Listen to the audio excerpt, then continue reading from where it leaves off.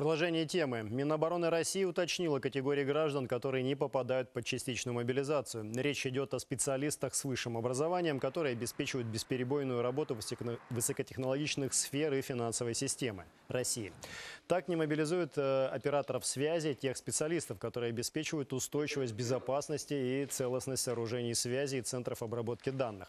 Также повестки не получат айтишники, сотрудники СМИ и организации, отвечающих за стабильность национальной платежной системы, инфраструктуры и финансового рынка.